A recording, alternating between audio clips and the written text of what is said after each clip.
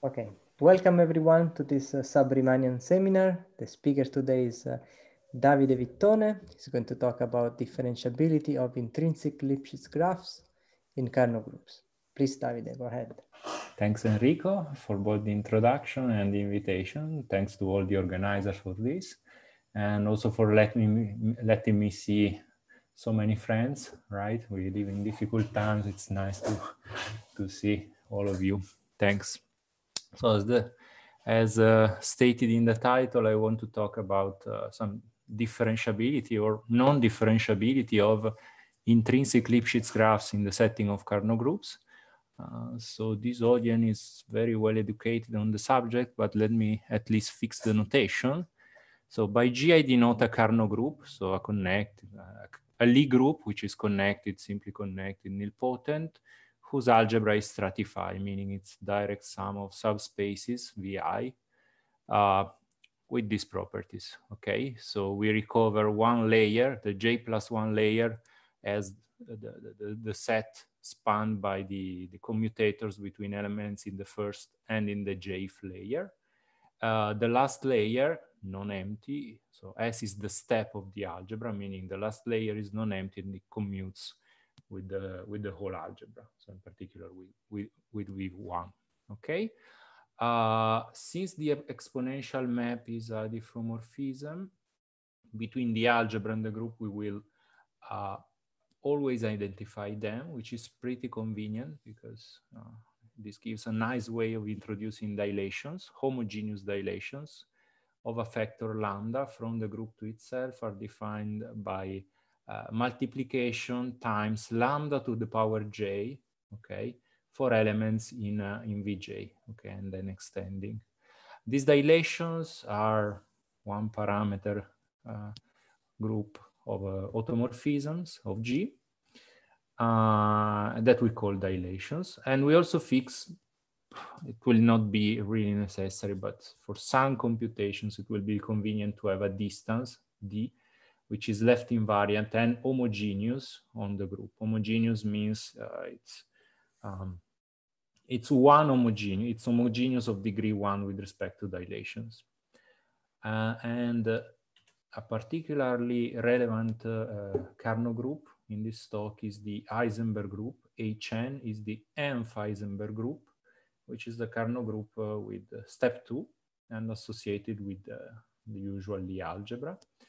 Okay, so we have 2n um, vector fields in V1, X1, Xn, Y1, Yn, and one direction T in the second layer. Uh, all commutators between these elements are uh, null except for the G, for each j, xj, and yj uh, do not commute. Their bracket is equal to t. And we will also always use these exponential coordinates Mm-hmm. by which we identify hn with r2n plus 1, okay, with coordinates x, first n components, y, n plus 1 to 2n components, and t, the last component. These are the dilations in this, okay? So we, we see there is a, an, an isotropicity here, right? The dilation of a factor lambdas multiplies times a factor lambda to the power two, the last component. Okay, so this is about the settings. So now I need to introduce intrinsic Lipschitz graphs, or Lipschitz graphs from an intrinsic viewpoint. Uh, assume that your group G is decomposed as the product of two subgroups W and V, uh, which are homogeneous subgroups, so um, invariant under dilations, and complementary. Their, in, their intersection is just the, uh, the ID group identity. And assume that the, their product generates the whole G. Okay, so the classical, uh, mm, the classical setting you should uh, take in mind is uh, Rn, okay, which can be split as product or direct sum of say rk plus rn minus k, okay? So this is a trivial example of a splitting like this. Uh, let me also say that if the, the, the, the Carnot group is Heisenberg, the only possible splittings are those given by, are those where one of the groups is vertical, and by vertical I mean it contains this direction t. Okay, can you see my pointer, by the way? Yes. Okay. So vertical means uh, it contains direction t, and horizontal means uh, it's contained in, uh, in R2n, so in variables x and y, okay? Plus um, the, the, the, horizontal part has dimension in the splitting uh, has dimension k, which cannot be greater than n. These are the, the only possible splitting of the Heisenberg group. And given a splitting and a map from W to V, or from a subset A of W to V, we, we, we call, we, we define its intrinsic graph, which is the set of elements W times phi of W as W uh, ranges in A, okay?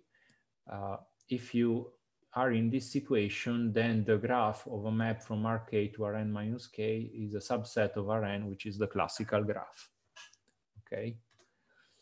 Uh, we want a notion of Lipschitz continuity for this kind of graphs. So given a map from W or a subset of W to V, uh, we introduce, actually, Franchi Serapioni and Serra Cassano a few years ago introduced uh, a notion of, of Lipschitz continuity, which is uh, in terms of comparison with cones, okay? So a map phi is said to be intrinsic Lipschitz if one is able to find an open cone, C, which contains V in its in itself. So uh, C is a neighborhood of V, actually of V minus the origin, of course. And the following properties hold. Uh, if you move the cone C so to have vertex at every point P in the graph, okay, then this cone with vertex, a point in the graph, doesn't intersect the graph, okay? Uh, this is a very reasonable uh, definition. Of course, it's equivalent in this Euclidean situation to the classical Lipschitz continuity. Uh, and uh, now there are very uh, there are several evidences that this is the correct notion of intrinsic Lipschitz continuity for a map uh, from W to V, so given a splitting. Uh, let me also say that in general, an intrinsic Lipschitz map phi cannot be better than Hölder continuous, okay? At least, I mean, from Euclidean, uh, from the Euclidean viewpoint, so to say, of classical geometry. Actually, what happens is that one can hope to have better uh, intrinsic uh, regularity properties for, for such maps.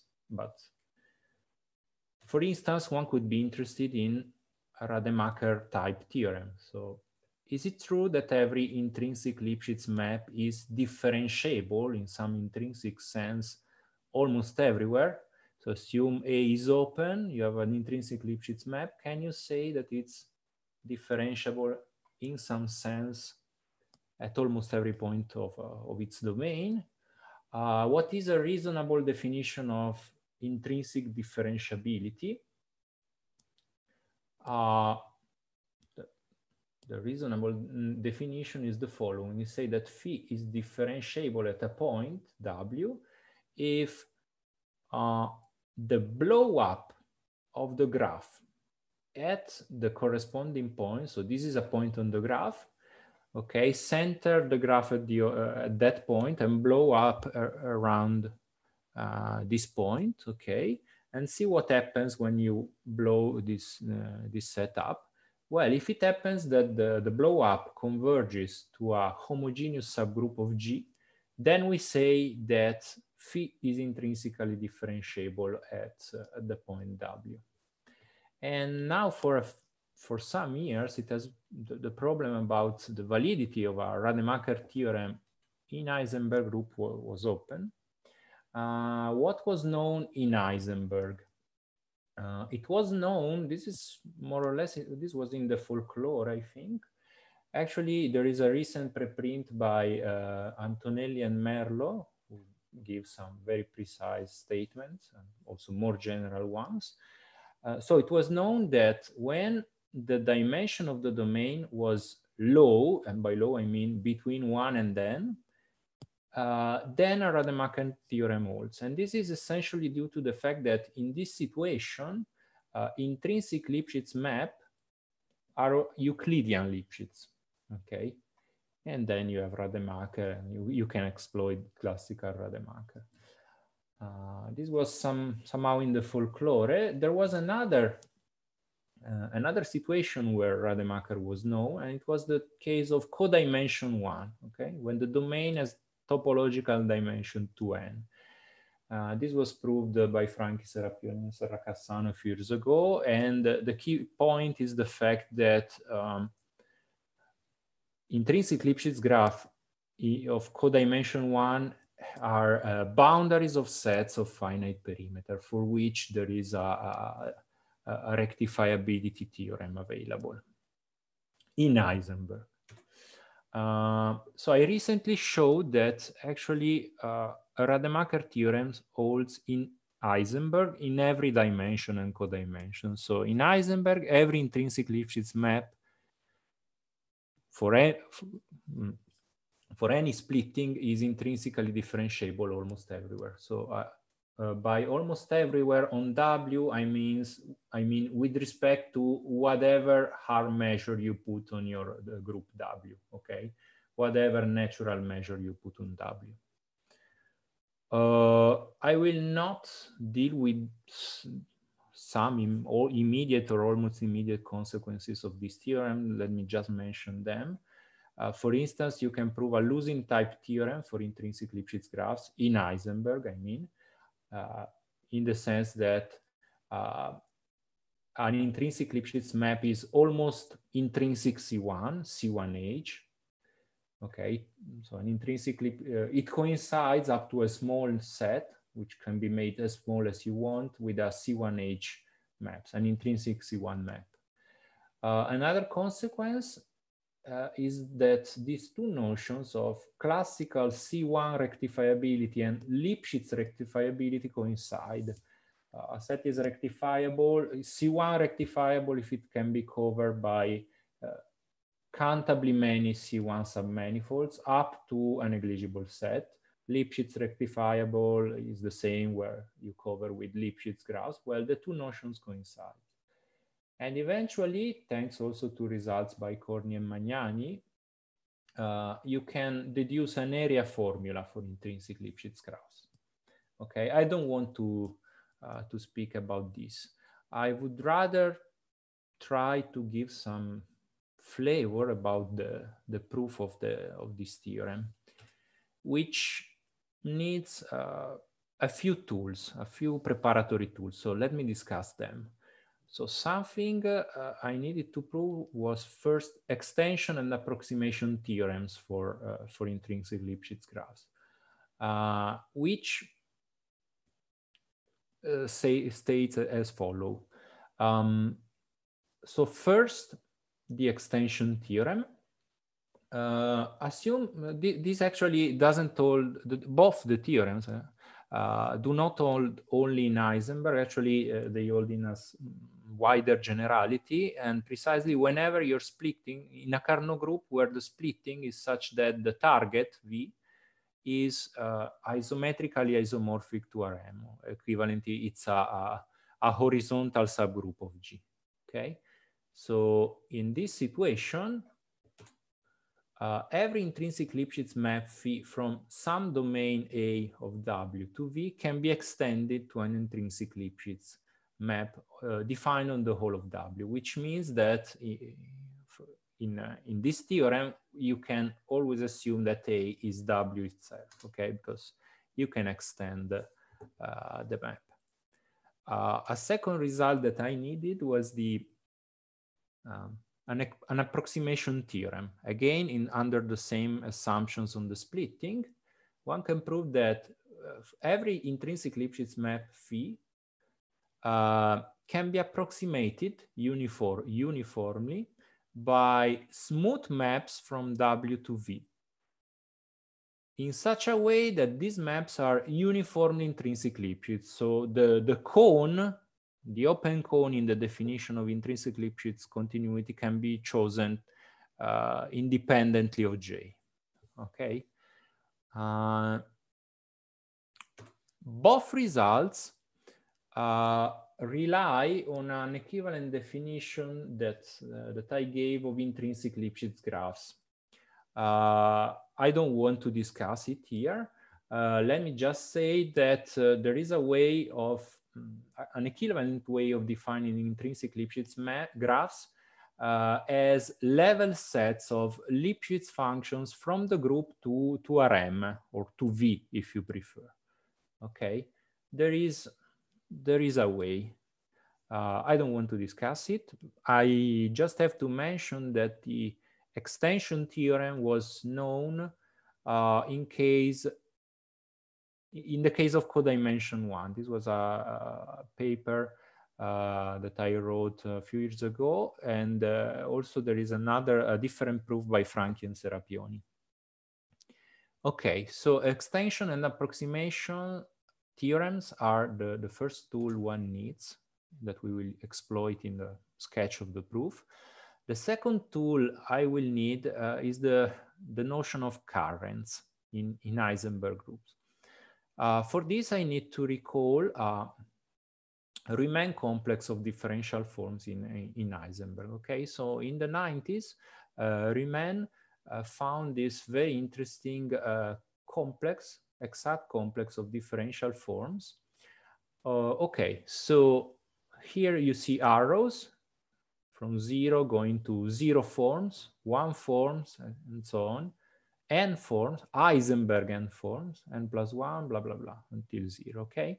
So each element in, um, in this sequence, dkh, uh, is, the, uh, is the set of Heisenberg forms of, uh, with compact support, Heisenberg smooth forms with compact support. You should think of them as uh, smooth uh, compactly supported sections of a certain space of covectors, okay?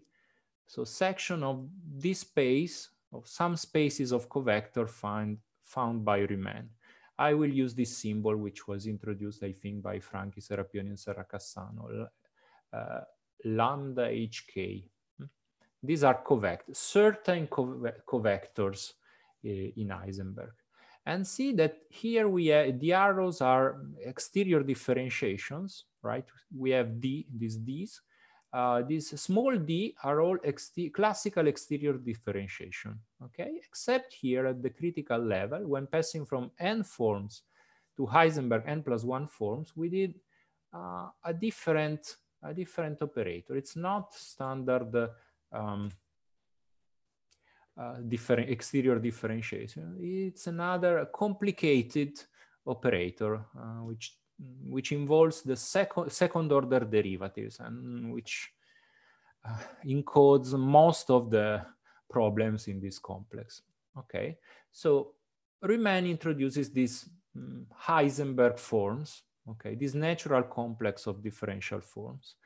And as in the classical case, we say that uh, a K current is an element of the dual of Heisenberg K forms with compact support. Uh, so even though the, the, the, definition might seem a bit abstract, and probably it is, um, the, the, the, idea, the typical case you should bear in mind is the case of a smooth submanifold, which defines a current uh, acting on uh, Heisenberg K-forms by integration. Okay, so if S is a uh, K manifold, a smooth K submanifold of the, uh, we take integration of this. This defines a current. So in this sense, currents are uh, generalization of, uh, of some manifolds.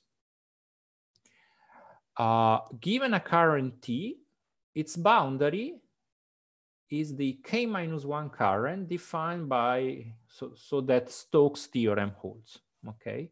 So the boundary of T, of T applied to some k minus one form omega is by definition T applied to the differential of omega, whereby dr I So R stands for Rumin, okay? And dr is the operator that you find in the complex at the appropriate level, k, okay? So either small d, exterior differentiation, or, or capital D. Uh, so I must apologize with the experts, okay? Because they will realize that uh, I'm not really precise about these spaces of vectors, which are not exactly, okay, in a, in a good approximation, they can be thought of as smooth uh, sections of certain covectors only, okay? Good, so we have the tools we need to, to start the proof, okay? So uh, we are given a, uh, an intrinsic Lipschitz map phi from W to V. Now, uh, by the by extension, we can assume that the domain of phi is the whole of W. Then we we have an the approximation theorem. So we can approximate it by phi j. Okay. So associated with phi j, there is a natural current, right? The one associating to every omega the, the integration of omega on uh, on the graph of phi j, which is a smooth submanifold. Okay. Well, thanks to the fact that these submanifolds are uniformly Lipschitz, you can prove, one can prove that uh, these currents uh, converge weakly star to some current T phi, which is supported on the graph of phi, okay? Uh, so this, the, the, approximation theorem is needed to define a, some current which a posteriori will be the natural current on the graph of phi okay? And also, uh, it's pretty easy to prove that these currents, so since the graph of phi j, since, since phi j are global, right, these uh, submanifolds, the graph of phi j are boundaryless. So these, these currents have, have zero boundary. So also the limit, so our natural current on, on the graph of phi uh, has no has zero boundary. This will be this will be a key information. Also, one can prove that uh, the, the current phi on the graph, T phi that we define on the graph of phi uh, can be defined by integration, okay? More precisely, you can one can find a, a, a, a function tau which is defined on the graph of phi and taking values in the dual of Rumin covectors, okay, so that the action of T phi on every form is uh, given by the integration on the graph of phi with respect to the Hausdorff measure, okay? So k plus one, uh, k is the dimension of W.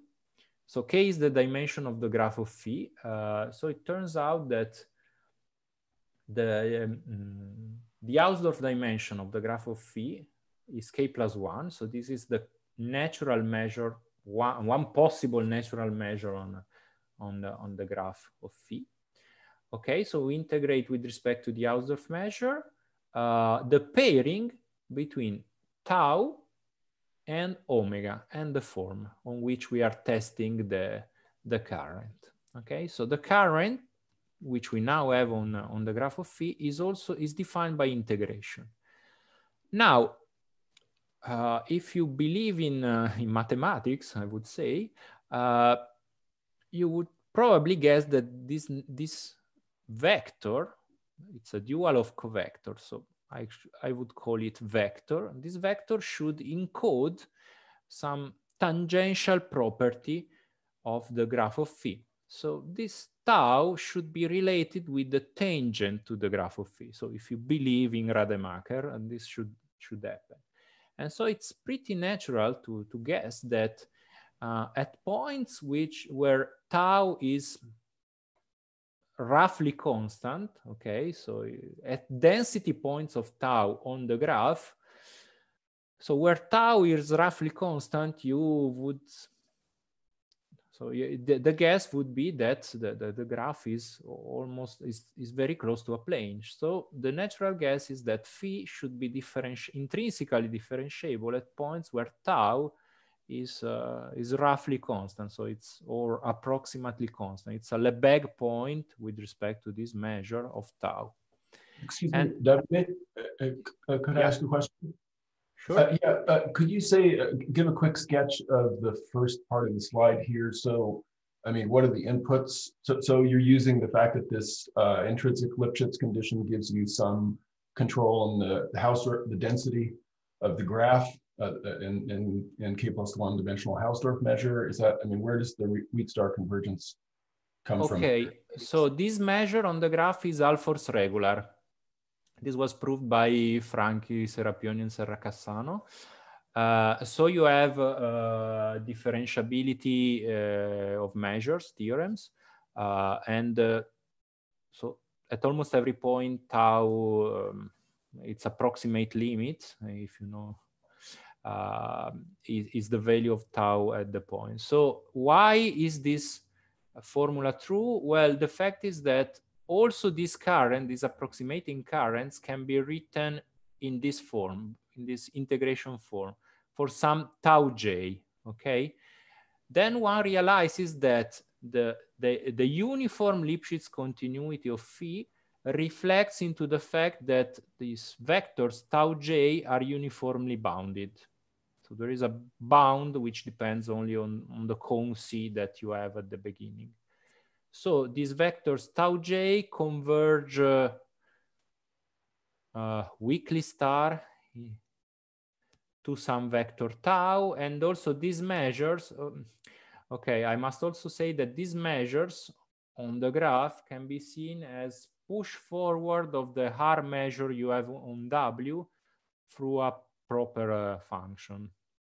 Okay, so if you put all these pieces together, you recover this form. Thanks. That's that's exactly what I wanted to hear. Thanks. Welcome.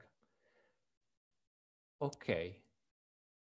So we have a natural gas, which is indeed almost true in the sense that in the sense of the following claim. So I claim, and the, the, the, key of everything is proving this claim. So we will prove that phi is differentiable at every point W of the domain where not only uh, the, the corresponding point of the graph is a Lebesgue point of, of this vector tau, but also uh, all the possible blow-ups of the graph at the corresponding point are t-invariant. By t-invariant, I mean that uh, they are invariant along the vertical direction, okay? Uh, fact, the, also these, both properties, but in particular this one, the second one, all uh, almost everywhere on W. Okay. Uh, this one is pretty standard, I would say, by standard arguments. This one uh, is not immediate. So the fact that at almost every point, all blow-ups of the graphs must be invariant. So in principle, we, we don't have Rademacher. So in principle, we have a hell of a lot of blow, possible blow-ups. Well, at almost all points of W, what happens is that all blowups are T invariant, so invariant in the in the in the vertical direction. Okay, so they are foliated by uh, straight vert vertical lines. Uh, this is a consequence of uh, Rademacher's theorem in codimension one. So here we use uh, Franchi, Serapioni, and Serra Cassano result. Okay.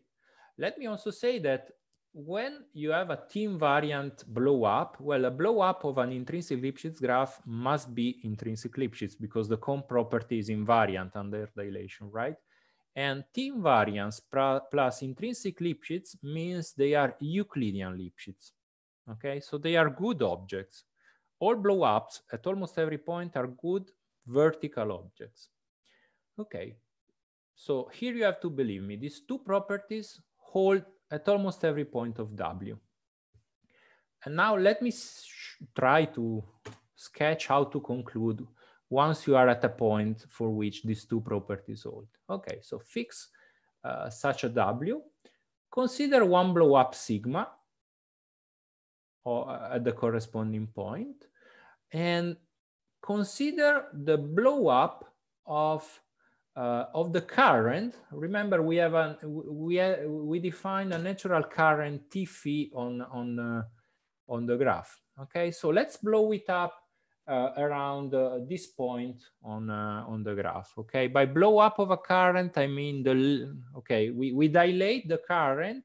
We consider the push forward via via dilations and see the limit of the current in the weak star sense.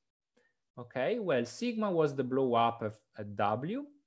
Uh, if we blow the current, we obtain a new current, which will be uh, supported on sigma on the blow up and which is uh, again obtained by integration and associated with some vector tau bar, some constant vector tau bar. So exactly by integration as here we had a function tau, well now the function is constant and it's exactly the value of tau at the at the fixed point, right? And what's the, the idea? Well, tau was roughly constant around this point, right? So when you blow this, everything up, uh, weakly star, you are converging to this constant, to the value of tau at the point, okay? So we have a, a current which is supported on the blow up and such that it's obtained by integration with respect to a constant vector tau.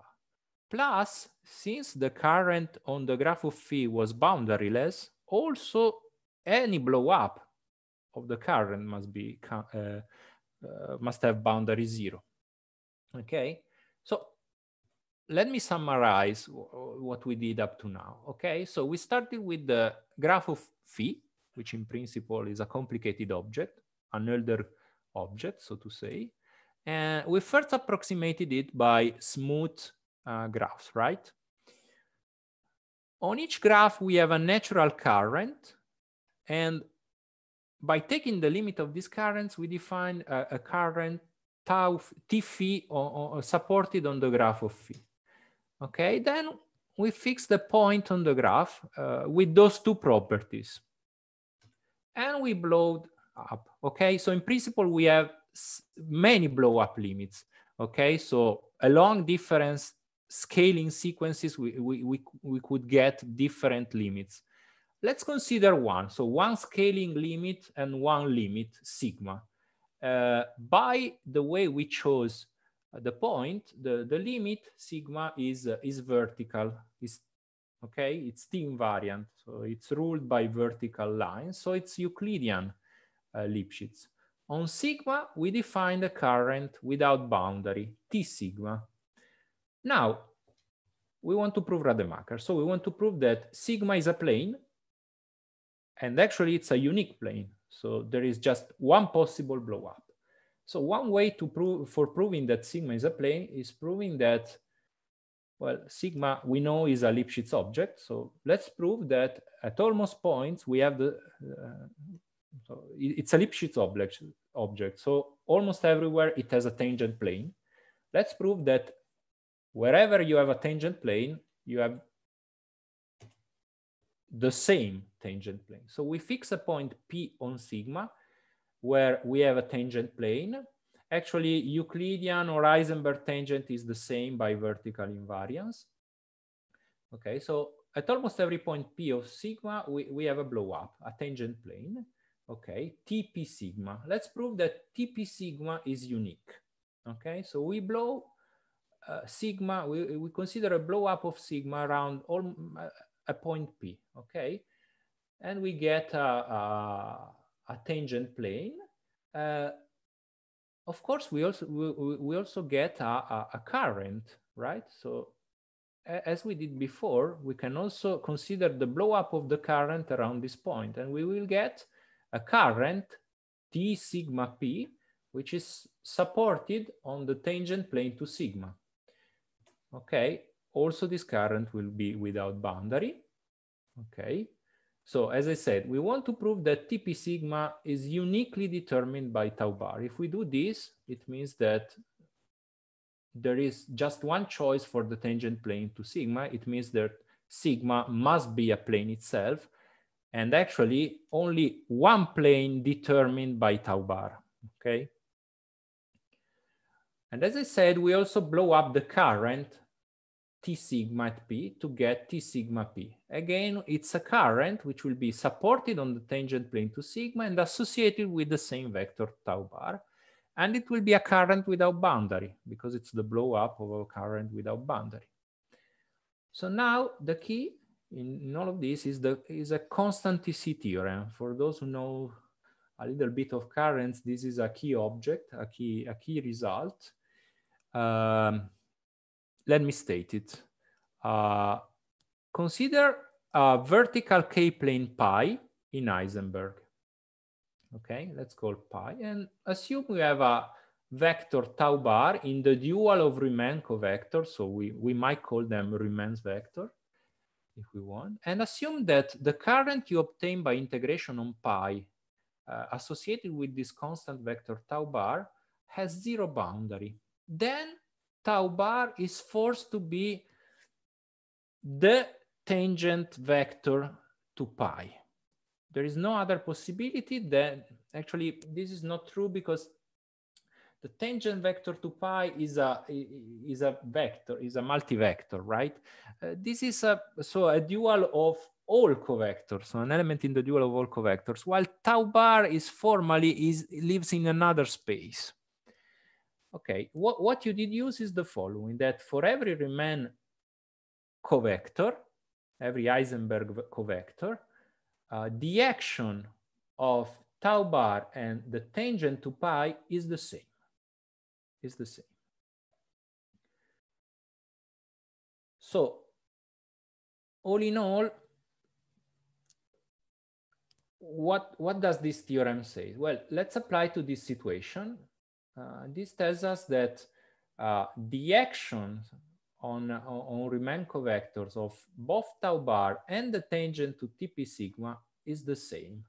And this, in the end, so after something like 25 pages of computations, uh, tells you that every blow up at sigma uh, must be a fixed plane, which is determined by tau bar. Okay, here I'm I'm I'm uh, I'm, I'm skipping a lot of details, but uh, the idea that that you should be reminded is that this information tells us that uh, there is just one possibility for tau pi. Okay, so tau pi here is determined by tau bar.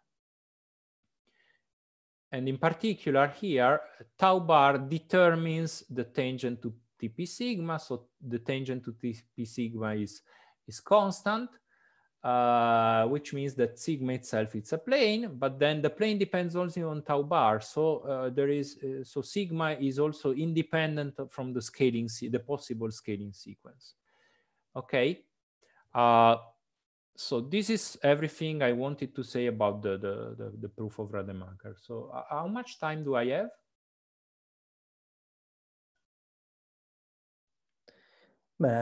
at least 15 more minutes. Oh, wow. Okay, then uh,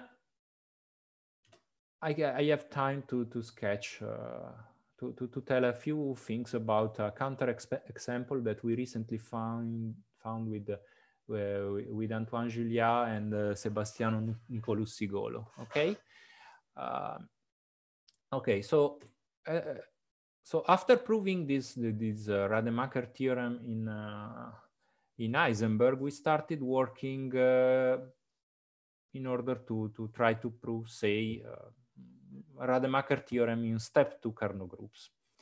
Okay, I must say that we also have some partial results, but okay, intermediate results, I would say. And then at some point we, we find this uh, super easy counterexample, which in a sense it's disappointing, but I also must say that uh, from other viewpoints, it's, it's pretty interesting. Okay. Okay, so consider this Carnot group, H1 times R. Uh, H1 and with the standard coordinates x1t, xyt in R. So this is R3 and this is R with with the and Z is the, the, the coordinate in the in R. Okay. So this is a Carnot group uh, with step two and uh, where the dimension of the horizontal layer is three and the dimension of the vertical layer is one. So the vertical, so V2 is given by this T direction, okay? And consider the splitting uh, W uh, V given by, well, W is a vertical plane in, in H1, okay? So it's span, it's y, the plane YT, and V is a horizontal uh, plane, okay? Uh, so one direction X in Heisenberg and the other direction Z in R. Now, consider a map phi from W to V of this form, okay? So phi of yt should be something of the form xz. x is zero. z is a function of t only, u of t. And you choose u to be a function from R to R, which is one, al one half Hölder, but such that uh, this limit, so if you want the uh, Hölder difference quotient of u at a point t, does not exist for any t. So at every point t, this limit doesn't exist. Well, then this map is in three. Oh, okay, sorry. Uh, such a map can be can be constructed. Okay, uh, it's pretty classical. Uh, I would say it's in the folklore. Uh, in the paper we are writing, we will include a construction because we don't know how where to, to find a reference. And actually, if any of you knows of any reference, please tell us. Tell us. Okay. Well, under these assumptions, phi is intrinsic Lipschitz, and this is a consequence of the Hölder continuity, but it is nowhere intrinsically differentiable at any point. It is not intrinsically differentiable at any point. And this is essentially due to this limit, okay? Uh, uh, how can, uh, can I uh, explain this? You will notice that the intrinsic graph of phi is contained in the set of points of the form 0, y, t, z, okay? And this is an abelian subgroup, homogeneous subgroup of, of uh, uh, of the group H1 times R. And uh, being abelian computations become very simple. I mean, checking that there is some open cone uh, is pretty simple. And uh, the open cone that you can put, uh, so cones are um, like uh, in direction t, since the, the, you have the homogeneity too, right? These cones are like um, have this uh, one half Hölder continuum, so are like uh, spikes of degree one half. So the, the one half Hölder continuity of U implies, so is the key ingredient in the intrinsic Lipschitz continuity. Uh, when you consider dilations, right, and since the, the, the, the variable t, the vertical variable t scales with a factor 2, the fact that this limit doesn't exist show implies that the, the, the graph is nowhere differentiable. Actually, you can do, you can construct phi with even worse properties. So you can construct phi in such a way that at every blow up, uh, sorry, at every point of every point of the of the graph, you have infinitely many blow ups, but none of them is a homogeneous subgroup. So no blow up is a subgroup. And the graph of phi is what technically is called purely C1H unrectifiable. It means that this is a Lipschitz graph which intersects uh, every C1 intrinsic C1 graph or intrinsic C1 submanifold in a, in a set with zero measure. So in particular, this set is, is not C, C1H rectifiable. It cannot be covered almost everywhere by uh, up to negligible sets by countably many uh, C1H submanifolds. So in particular, C1H rectifiability and Lipschitz rectifiability are different notions, okay? And this was pretty, I, I think that this counterexample from some viewpoint, from a certain viewpoints, is particularly striking. Uh, so for me, one, one one interesting observation is that no blow up is a homogeneous subgroup, which means that also if you, so in rectifiability theory, theory one always look, looks at the at measures on the, rather than objects. So you put, for instance, the Hausdorff measure on on uh, on your graph, and you look at the blow ups of the measure. Okay, well, no blow up is flat. No blow up of the measure is supported on a flat plane because no blow up of this graph is a subgroup. Um, okay, so here I included some one possible construction of U, which I think is pretty classical. It's done by uh, self-similarity arguments. Uh, right, you start with the function x. So the pictures are by uh, Sebastiano, which I thank. um, you start with the function x from zero one to zero one, okay? And then you extend uh, to, to, to the whole R in some way, okay? You start from mm, the function x, and then you replace it with a new function, which is constructed in this way. So you, you pick your function on zero one, you squeeze zero one, so to cover 0 for 9, right? And vertically, you squeeze by a factor 2 over 3, okay? So at every step, you will see that here we have a function on 0, 1, and we build a copy of itself on 0, 4 over 9, which is scaled by a factor 4 over 9 here and 2 thirds here vertically. And we put three copies of this. So one here from 0 to 4 over 9, one on 5 over 9, 1. See, it's, easy, it's the same. And between 4 over 9 and 5 over 9, we put uh, a, a, copy which is scaled by a factor 1 over 9 horizontally and 1 over 3 vertically. And also uh, we right we, we go it uh, we, we let it go downwards okay rather than upwards okay? So see how it's done. And this is another iteration. So i believe this construction is pretty classical but if any of you, so I, I don't know where to find it. If any of you have a, have a reference, we will be grateful. And yeah, I think I can stop here. Thanks for your attention.